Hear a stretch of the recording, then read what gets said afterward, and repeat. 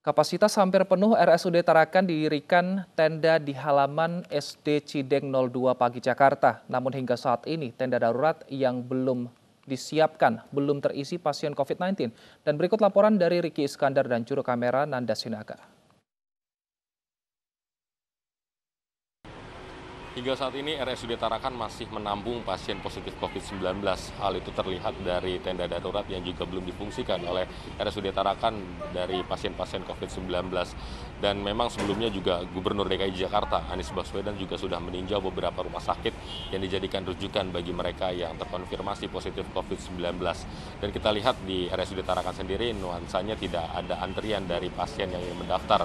Hanya ada antrian yang pasien yang ingin melakukan rapid test ataupun PCR tidak ada antrian yang membludak eh, dari pasien COVID-19 ini artinya memang RSUD sendiri masih menampung pasien-pasien positif COVID-19. Jika memang nantinya sudah melebihi kapasitas tentu dua tenda darurat yang difungsikan ini juga bisa difungsikan secara menyeluruh begitu.